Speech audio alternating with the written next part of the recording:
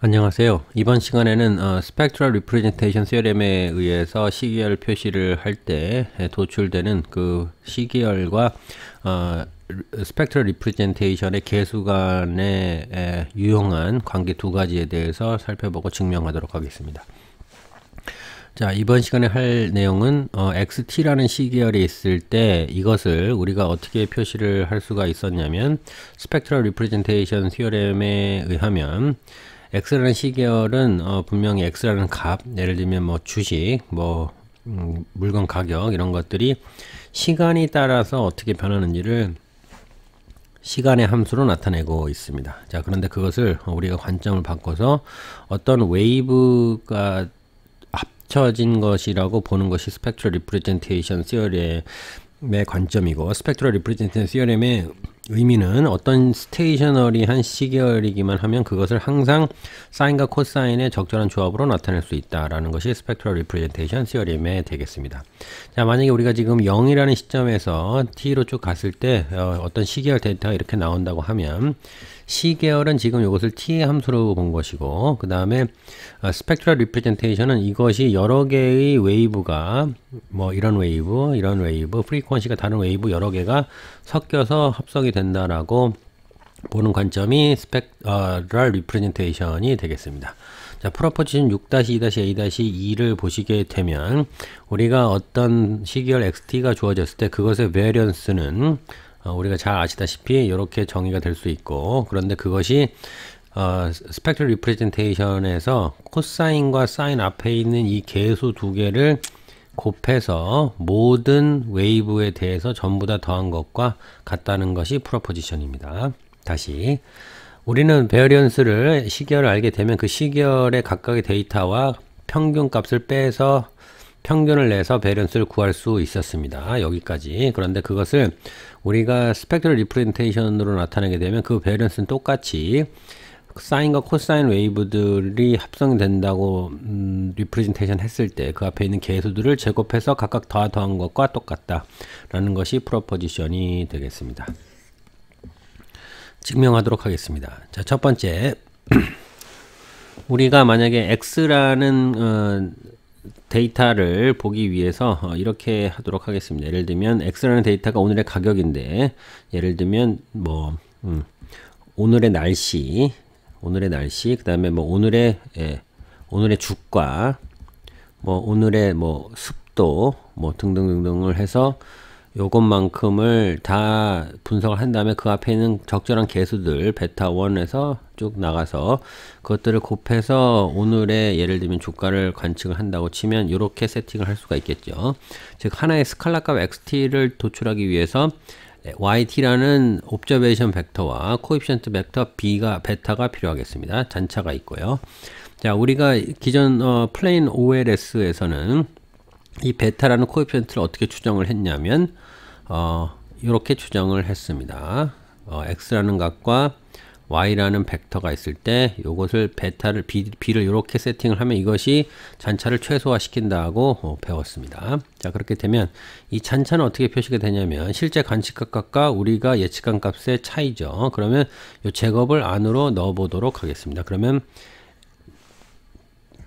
a 플러스 b의 제곱은 a제곱 플러스 b의 제곱 마이너스 2ab 이렇게 되니까 요게 a의 제곱 부분, 요게 b의 제곱 부분, 요게 마이너스 2ab 이렇게 되겠죠. 그런데 요 b라는 코에피션트는 어떻게 다시 쓸 수 있냐면 이렇게 쓸 수가 있다고 여기서 우리가 알고 있었죠. 그러면 그것을 그대로 넘기고 그 다음에 여기도 B가 계속 연두색, 하늘색 나오니까 같은 방식으로 연두색과 하늘색을 이렇게 대치를 해보겠습니다. 자 그렇게 되면 이 부분이 같은 어, 매트리스가 돼서 날아가게 되고 그렇게 되면 지금 요것과 요것이 지금 같은 모양이고 다만 여기는 마이너스 2개 여기는 플러스 1개만 있게 되어서 2x의 제곱 나오고 요게 마이너스 2개 여기 플러스 1개니까 마이너스 1개에 이렇게 나오게 되겠습니다. 즉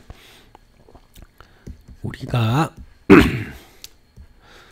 어떤 어, multivariate을 regression을 해서 그 잔차의 제곱을 어, expectation 하게 되면 실제 관측한 값을 제곱한 것의 expectation에다가 그 다음에 실제 관측한 값의 제곱의 expectation 그 다음에 빼주는데 expectation x 실제 관측값과 그 다음에 observation 벡터 그 다음에 옵저베이션 벡터 두 번 더 곱하고 그 다음에 옵저베이션 벡터의 실제 관측값 이렇게 더하면 된다는 것이 일단 첫 번째 결론이고요. 자, 두 번째 결론. 어, 샘플 썸에 대해서 어, 어, 잘 알려진 어, 팩트를 한 번만 더 확인하겠습니다. 어떤 시계열에서 평균 값을 빼게 되면 그것을 제곱을 안으로 넣어주면 지금 이 부분이 이렇게 나오게 되죠. 각각 분리해서 써게 되면 요것은 그냥 나오고 이것은 지금 상수니까 상수가 t개만큼 있을 것이고 마이너스 2의 상수고 이렇게 됩니다. 그런데 요것을 지금 t를 위에 한번 아래 한번 곱해주게 되면 지금 요 하늘색 부분이 이렇게 바뀌게 되고 근데 요것은 뮤의 어, 에스티메이시기 때문에 마이너스 2t의 뮤의 제곱이 돼서 심플리 요것을 바꿔 쓰게 되면 그냥 x의 제곱 그대로 나오고 뒤에다가 평균의 제곱을 하는데 t만큼만 곱해주면 된다. 요 두 가지 팩트를 어, 우리가 증명하는데 프로포지션 증명하는데 에, 써먹도록 하겠습니다. 자, 우리가 다시 어, 코이피션트를 어, 정의를 하게 되면 어, 아, 하나의 성질만 한 번 더 공부를 하고 가겠습니다. 자, 우리가 우리가 x라는 어, 값을 측정하기 위해서 yt라는 observation 벡터에다가 베타를 곱한다. 벡터 coefficient 벡터를 곱한 다음에 잔차를 더했을 경우에 요 베타를 우리가 추정하게 된 것을 요 b라고 하겠습니다. 그럼 b는 어떻게 하게 됐냐면 observation 벡터 두 번 곱해서 어, inverse 취하고 observation 벡터에다가 실제 관측치를 곱해서 어, 세팅을 한다면 잔차가 최소화 된다고 말씀을 드렸고 어, 과거 동영상에서 6-2-H7에 의하면 이 observation 벡터를 두 번 곱해서 전부 더하면 이런 매트릭스가 나온다고 말씀을 드렸고 이것은 simply 보시면 t 00000 t 여기 전부 다 0, 그 다음에 여기가 전부 다 t분의 2, 다 t분의 2입니다. 여기도 뒤로 다 t분의 2, 여기도 다 t분의 2, 여기 전부 다 t분의 2입니다. 자, 이렇게 된 매트릭스가 된 이 매트릭스에다가 이렇게 구할 수 있다고 말씀을 드렸습니다. 자, 그렇게 되면 observation 벡터에다가 어, 실제 관측치를 곱한 것을 전부 다 더한 요거 값은 어떻게 되냐면 지금 이렇게 구한 연두색 매트릭스에다가 베타 coefficient 어, 벡터를 곱한 것과 같다는 것이 나올 수 있겠네요. 이것을 inverse를 해서 이쪽으로 넘기면 되니까 그 공식을 나중에 proposition 증명하는데 써먹도록 하겠습니다. 자, 첫 번째. 우리가 잔차의 제곱은 우리가 아까 배운 거에 의하면 잔차의 제곱의 익스펙테이션은 잔차의 제곱의 익스펙테이션은 실제 관측치의 제곱하고 거기다가 expectation 실제 관측지 벡터 그 다음에 관측지 벡터 그 다음에 요것을 실제 여 곱하기 expectation 관측지 벡터의 실제 관측치 예, 이렇게 써준다고 말씀을 드렸죠. 근데 그것이 지금 expectation은 population 하에서 나타나는 거니까 그걸 샘플 버전으로 바꿔보면 이것이 이렇게 나오는 것을 알 수 있고 근데 그것은 0이 됩니다. 왜냐하면 지금 음, 보시면 우리가 t개의 데이터를 보고 그 다음에 코사인과 사인 각각의 코사인이 여러 개가 있을 것이고 사인이 여러 개가 있을 것인데 그 각각의 coefficient들을 어, 구하는데 여기 앞에 있는 요 알파들 여기 뒤에 있는 베타들을 각각 구할 것이기 때문에 우리가 가지고 있는 t개의 샘플 데이터와 그 다음에 어, 구하고자 하는 파라미터, estimator하고 파라미터 값이 같기 때문에 exact identification이 돼서 잔차의 합은 0이 됩니다. 자 그렇게 되면 요것과 요것을 뺀 게 0이 되니까 요것과 요것은 예, 같게 되겠네요. 자 그래서 그 방식을 정리를 하시게 되면 실제 관측한 데이터의 제곱을 해서 전부 다 더한 것은 이렇게 나오게 되는데 요 위에서 보시게 되면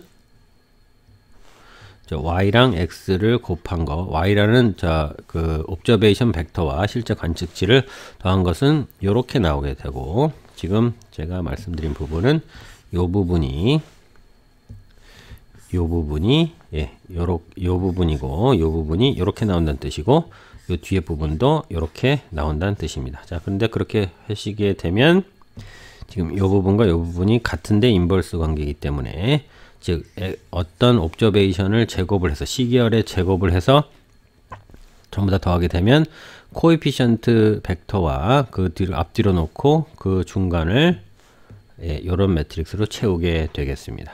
자, 그럼 이 매트릭스는 어떻게 생겼는지 저희가 예, 이렇게 생겼다는 것을 알고 있기 때문에 실제 계산을 해보도록 하겠습니다. 자, 실제 계산을 하게 되면 지금 이 부분을 실제 계산하는 것이고 이 b라는 벡터는 coefficient들을 전부 다 모아놓은 거죠. 우리가 관측 estimate 하고자 하는 파라미터들을 전부 다 해놓은 거니까 상수항, 그 다음에 코사인에 붙어 있는 계수들, 사인에 붙어 있는 계수들입니다. 요거 이렇게 되고 이 중간에 끼어 있는 것은 이렇게 되고 그렇게 되면 지금 이 앞에 있는 두 개의 매트릭스 계산만 하게 되면 자, 요것과 이것을 쭉 더해서 여기다 쓰게 되죠. 그러면 앞에 첫 번째 것만 값이고 전부 다 0이기 때문에 이렇게 되고 자, 그 다음에 알파 1과 여기 있는 걸 쭉 더하게 되고 자, 여기 있는 알파 1부터 여기 있는 걸 전부 다 해서 요것과 쭉 더하게 되면 여기 앞에 있는 거 날라가고 그 다음에 알파 1부터 j까지 베타 1부터 j까지를 전부 다 더한 건데 개수가 t분의 2가 붙겠네요. 그런 식으로 하면 여기를 해서 똑같고 이것도 똑같고 해서 앞, 여기 앞에 달려 있는 요 것들은 전부 다 똑같이 되겠습니다. 그 뒤에 있는 것을 이렇게 곱하면 그 계산을 실제로 해보도록 하겠습니다. 자 그렇게 되면 자 뮤의 제곱에 t 지금 요것과 요것을 곱해서 요게 나오는 거고 요것과 그 다음에 요것을 곱해서 나오게 되는데 보게 되면 지금 여기 있는 값들이 전부 다 똑같기 때문에 맨 앞에 요걸 깔아 놓고 그 다음에 알파의 제곱부터 알파의 j, 베타의 1부터 베타의 죄송합니다. 여기 j 예, 이렇게 표시가 되게 되겠네요. 그렇게 되면 여기 그대로 내려오고 그 다음에 요것을 알파의 제곱 알파 플러스 베타의 여기도 알파 플러스 베타의 제곱이니까 베타니까 요거 두 개를 제곱을 어, 쓰면 되겠습니다. 자 그렇게 되면 그것이 지금 우리가 이게 뭐라고 되어 있냐면 실제 관직가 값을 제곱한 것이 이렇게 나온다는 뜻이죠. 자 그렇게 되면 요게 이렇게 예쁘게 정리가 되겠습니다. 즉 중간 정리하면 실제 관측 값의 제곱을 해서 전부 다 더하게 되면 샘플 평균에다가 샘플 수를 더한 다음에 그다음 우리가 spectral representation 했을 때의 그 사인의 코사인의 계수들 사인의 계수를 전부 다 더한 제곱한 다음에 예, 더하면 된다 라는 것이고 여기서 지금 알파 플러스 베타의 제곱이 알파의 제곱 플러스 베타의 제곱으로 바뀌는 거 보실 수 있는데 이 부분이 이렇게 바뀌는데 그것은 왜 그러냐면 지금 보시면 이 알파들이 전부 다 뭔가요? 요게 코사인이고 그 다음에 요게 사인의 함수들입니다. 그런데 사인과 코사인은 orthonormal 관계에 있기 때문에 이것이 0이기 때문에 예, cross term들 전부 다 없어지니까 두 개를 합해서 제곱을 하나 각각을 제곱을 해서 더하나 cross term들이 0이 되니까 똑같다는 뜻입니다. 자 그래서 지금 여기서 보시면 우리가 맨 어, 기존에 우리가 공부했던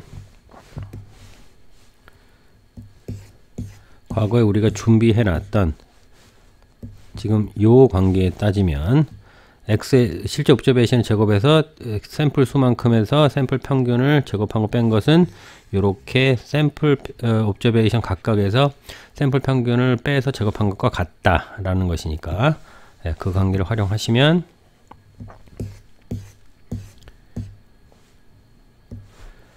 자 여기서 요두 개를 빼게 되면 요두 개만 빼시게 되면 이것은 그냥 심플리 각각의 옵저베이션에서 샘플 평균을 빼서 제곱한 것과 똑같고 그것이 이렇게 예, 되는 거죠. 그런데 이것은 보시게 되면 이것이 바로 시계열의 variance가 됩니다. 그래서 시계열의 variance는 뭐다? 2분의 1인데 예, 이 시계열 XT를 spectral representation으로 나타냈을 때 코사인에 나, 코사인에 나와 있는 계수들의 각각의 제곱, 사인의 계수들의 각각의 제곱을 더한 것과 같다. 즉 이것은 뭡니까? 시계열을 t의 함수로 봤을 때의 variance가 스펙트럴 리프레젠테이션에서 나타났을 때 그 개수와의 관계가 이렇게 정립된다는 것을 표시해주는 프로포지션이 되겠습니다. 자, 두 번째 증명할 관계는 제가 어떤 어, 시계열이 있을 때 그 시계열의 샘플 스펙트럼은 어, 샘플 피리드그램은 샘플의 코베런스들을 각각 전부 다 더하는데 거기다가 이렇게 상수를 곱해서 어, 더하고 그게 x라는 프로세스에 대한 샘플 periodogram이라고 말씀을 어, 드렸습니다. 자 그리고 x의 t라는 프로세스를 spectral representation을 하게 되면 코사인 함수들과 그 다음에 사인 함수들을 적절히 섞어서 표현할 수 있다고 말씀을 드렸습니다. proposition 6-2-A-3의 포인트는 spectral representation theorem에 의해서 도출되는 요 coefficient들과 샘플 periodogram이 이런 관계가 성립한다는 것을 알려주는 것으로서 우리가 spectral representation theorem에 의해서 spectral representation을 하고 그렇게 되면 샘플 periodogram과 이런 관계가 있다라는 것을 어, 표시를 해주고 있습니다. 자, 첫 번째로 우리가 그 proposition 증명을 하기 위해서 어, 이 부분을 좀, 어, 확인을 하겠습니다.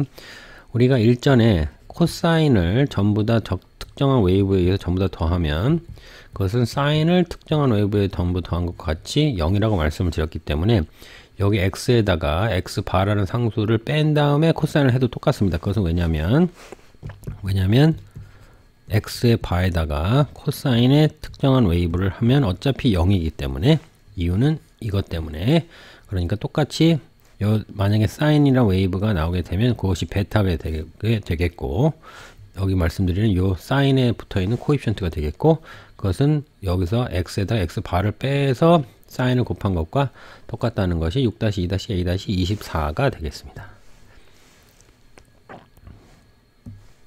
자, 샘플 어, periodogram은 2파이로 나누는데 샘플 covariance들에다가 exponential을 이만큼 곱해서 2파이를 나누면 되고 그렇게 되니까 샘플 covariance에다가 EIWK만큼을 곱하면서 전부 다 더하면 2파이분의 샘플 periodogram이 되겠습니다.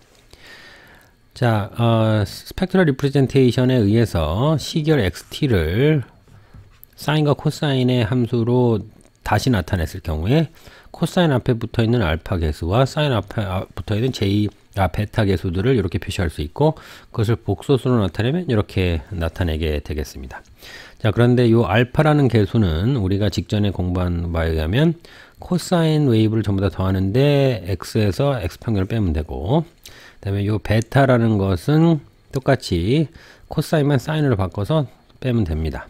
자 그래서 뒤에 하늘색도 마찬가지로 그렇게 표시를 하게 되면 자, 요 회색 부분만 보시게 되면 요 회색 부분만 네, 보시게 되면 어떤 값이 나오고 그 다음에 그 어떤 값 어떤 값이라는 것은 어떤 값을 더하는데 더하는 건 일단 무시하고 코사인에다가 i의 사인을 더해서 어떤 값 세타가 나와서 전부 다 더하는 것이죠. 근데 이것은 표시를 하게 되면 e의 i의 세타가 되는 것이죠. 그 부분이 지금 이렇게 표시가 되어 있습니다. 이 회색 부분을 x의 x바를 어, 전부 다 곱하는데 그 뒤에다가 사인 코사인을 이 exponential로 오일러 identity를 활용을 해서 바꿔놓을 수 있고 뒤에 회색 부분도 마찬가지로 바꿔 놓을 수가 있겠습니다. 자 그렇게 되면 지금 여기서 보시면 t개만큼을 쭉 어, 더하는데 예를 들면 x의 뭐 0에다가 x의 바를 뺀 다음에 2의 i w의 t에다가 0이니까 마이너스 1. 그 다음에 x의 1 빼기 여기 1부터 하겠습니다. 그러면 여기 0이 되고 x의 1의 x의 제곱에 2의 iw에 뭐 1 이런 식으로 쭉쭉 나가게 되고 그 다음에 그것을 한 번 더 어, 하게 되는 거죠. x의 1 빼기 x의 제로에 2에 어떻게 되고 쭉쭉 나오게 되겠습니다. 자 그렇게 되면 지금 우리가 관심 있는 것들은 지금 이렇게 생긴 것들인데 x에 1 관련된 거, x에 2 관련된 거 쭉 나올 것이고 이것도 x에 1 관련된 거, x에 2 관련된 거 쭉 나올 것입니다. 자 그렇게 되면 크로스텀들이 여러 개가 생기게 되는데 예를 들면 요것과 요렇게 한번 곱해야 되고 요렇 과 요렇게 한번 곱해야 되고 등등등 계속 나올 텐데 그렇게 되면 그것을 쭉 보면 여기서 나오는 t라는 숫자랑 여기서 나오는 k라는 숫자랑 같은 경우가 어, 있겠죠. 그런 경우는 xt의 x, x바, xt에서 x바를 뺀 것의 제곱이 되고 그렇게 되면 베리언스인데 그게 t개만큼 있을 겁니다. 자, 그 다음에 이런 겁니다. 여기 지금 회색 부분에서 곱하려고 하는 게 이만큼이 있고, 그러면 그 크로스텀들 중에서 한 개만큼씩 차이 나는 게 있을 거예요. 레그가 하나만큼 차이 나는 거. 예를 들면, T가 만약에 100이면, K가 만약에 99인 게 있을 것이고 T가 100일이면 K가 100인 게 있을 겁니다. 레그가 하나씩 차이 나는 것들이 어, T-1개만큼 어, 있을 겁니다. 자 그렇게 되면 그런 것들을 전부 다 더하게 되면 곱해서 더하게 되면 이렇게 텀이 생기게 되고 여기 익스포넨셜이 이렇게 붙게 되겠죠.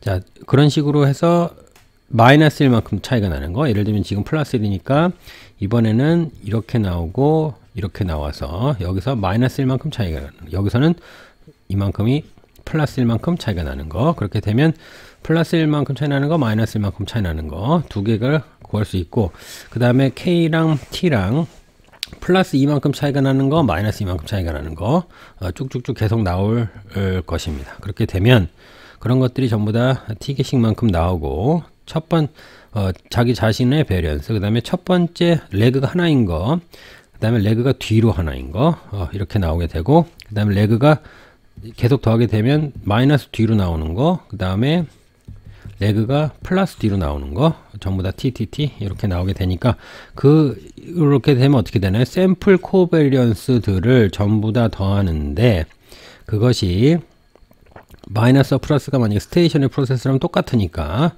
반만 더하게 되고 그러면 두 개가 되는 것이고 그 다음에 아, 이렇게 되면 샘플 covariance들을 어, 전부 다 더하는데 예, t개만큼이 앞으로 빠져나오게 되고 그 다음에 2에 i에 w에 k를 전부 다 더하게 되는 거니까 k가 마이너스 뭐 마이너스 t부터 마이너스 1까지를 더하게 되니까 이 부분이 t만큼을 곱한 샘플 어, 페리오드그램이 되겠네요. 그래서 정리하게 되면 여기 t가 이렇게 하나씩 나눠지게 되니까 그 다음에 2파이가 없어지니까 2파이 곱해지고 그렇게 돼서 나오게 되면 요 부분은 요 부분은 샘플 피로도그램을 2파이가 없으니까 2파이만큼을 곱해주고 나오는 샘플 피로도그램이다. 그래서 그 앞에다가 4분의 t의 제곱을 곱해주게 되면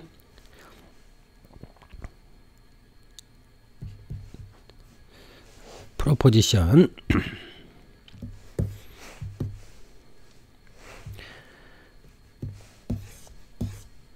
과 같이 예, 이런 관계가 성립한다. 즉 샘플 periodogram이 이렇게 나오게 되고 그 다음에 우리가 xt라는 것을 사인과 코사인의 적절한 조합으로 나오게 됐을 경우에 그 앞에 있는 계수 알파와 베타들을 추적을 해낸다고 하면 그 계수들 spectral representation에서의 그 계수들과 샘플 periodogram과의 관계는 식 6-2-a-23과 같음을 어, 현재까지 증명을 하였습니다. 예, 이번 시간 여기까지 하겠습니다.